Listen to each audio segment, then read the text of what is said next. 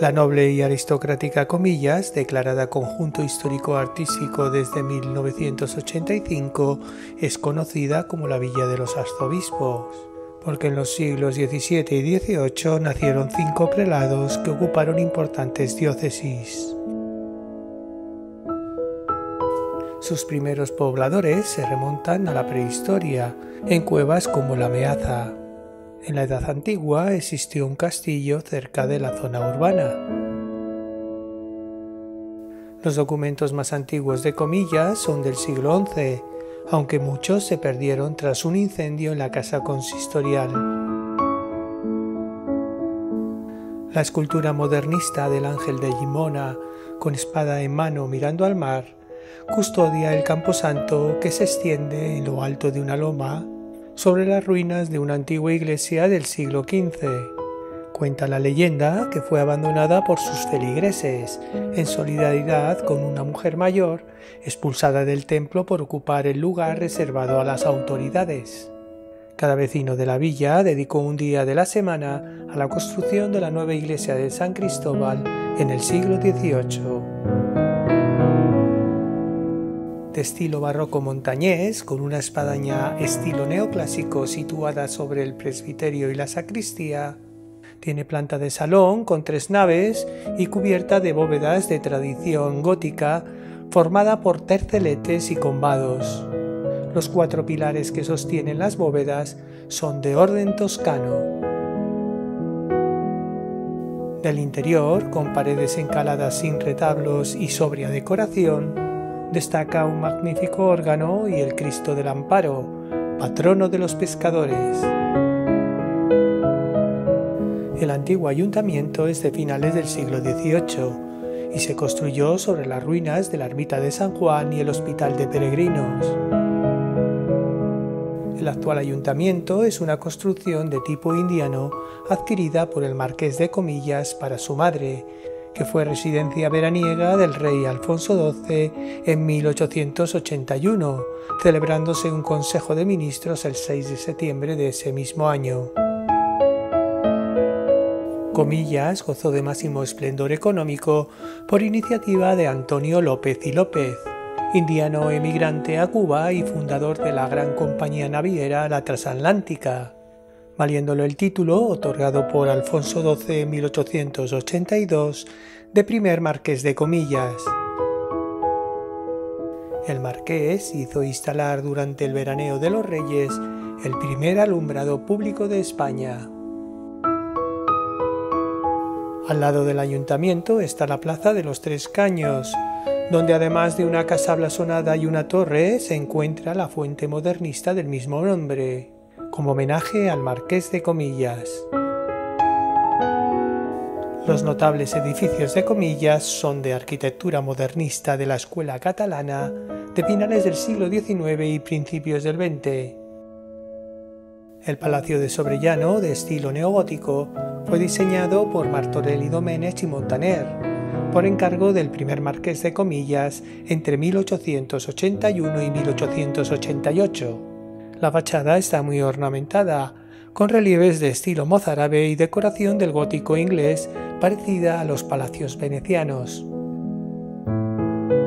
Al entrar encontramos una impresionante escalera de alabastro y un gran salón decorado con pan de oro en las paredes, preciosas vidrieras y paneles pintados por Eduardo Llorens contando la vida y obras del marquesado como la inauguración del Seminario de Comillas, la bendición de la Capilla Panteón, la gran revista naval del puerto de Comillas en 1881 o el embarque del vapor España en el puerto de Barcelona.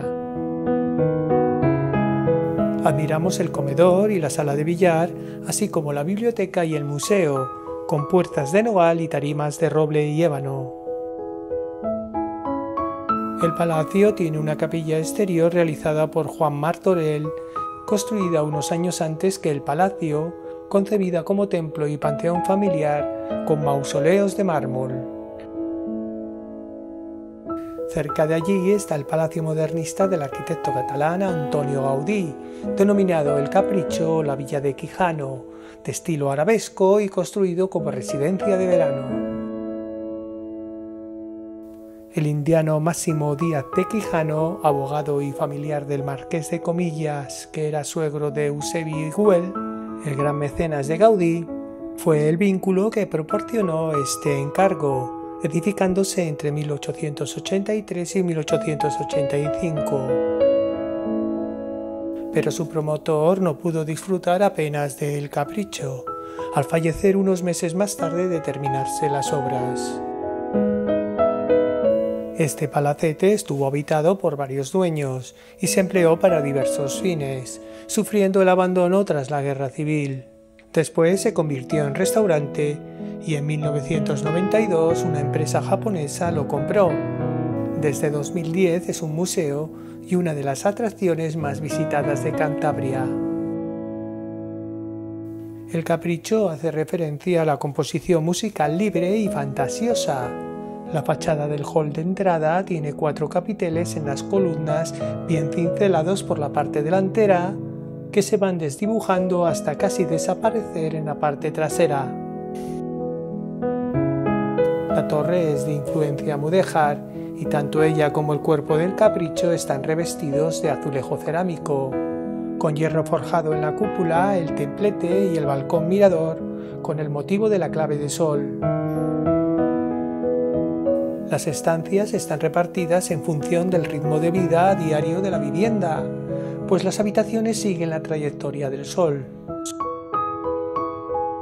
Algunas ventanas tipo guillotina tienen un sistema de contrapeso que alberga unos tubos metálicos que al subir o bajar emiten espectaculares sonidos musicales. En la habitación principal, orientada al este, con techo de inspiración mudéjar de hierro y madera tropical y chimenea decorada con cerámica, se comenzaba el día.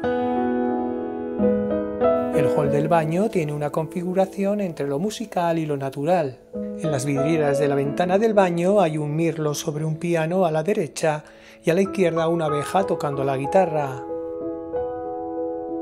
A su lado está el estudio del abogado y músico, los bancos de su balcón son una obra de arte. Luego está el salón principal y centro social, que divide al edificio en dos salas. A continuación el recibidor, con una noble decoración de diferentes tipos de maderas. Las puertas se pliegan dentro de los muros de cada estancia para dar intimidad. Hall de entrada tiene unas bonitas vidrieras con motivos geométricos, flores y plantas. Al cenador le llegan las últimas luces de la tarde. Tiene decoración en los arrimaderos y techo. Hay un retrato del indiano y una vitrina con documentos y fotografías históricas. En el arco polilobulado está la sala de fumar, con decoración oriental.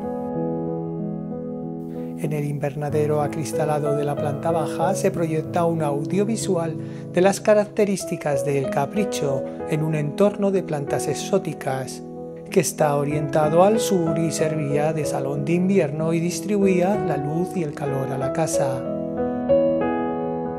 Los balcones son de hierro forjado con un excelente dominio de esta técnica que aportan belleza a la estructura.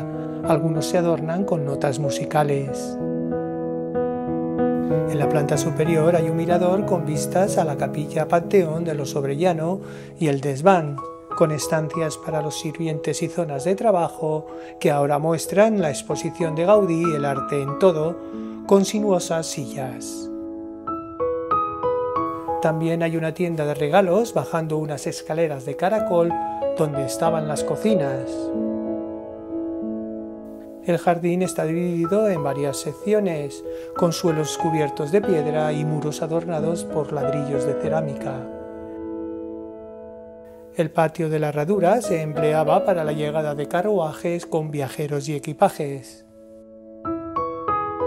Al pie de una de las fachadas hay una estatua sedente de bronce de Antonio Gaudí, admirando su obra. En el patio trasero hay una pequeña gruta artificial que se construyó para liberarse del calor estival. La Puerta de los Pájaros es un encargo a Gaudí en 1900 para el acceso de coches y personas a la Casa del Moro. que realizó con desechos de piedra y materiales tradicionales en la construcción de muretes llena de fantasía que cuenta con un agujero para que entren los pájaros. Más adelante está la ermita dedicada a la Virgen de Santa Lucía y su bonito mirador. Aquí hubo dos atalayas para los vigías que buscaban ballenas en el horizonte.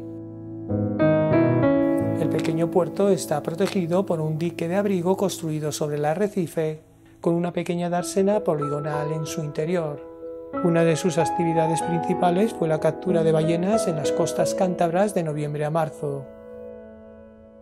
El corro era el lugar donde se jugaba a los bolos y se bailaba al estilo suelto o con panderetas. El corro de San Pedro lo delimitan una casona del siglo XVIII con balcón volado y gran escudo y el antiguo parador,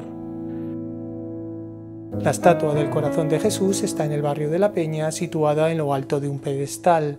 La escultura original se destruyó durante la Guerra Civil. El Corrocampíos es el lugar de ocio del centro de la villa. En él se jugaba a los bolos y se celebraban bailes y fiestas. Es el punto de encuentro y reunión de vecinos y visitantes.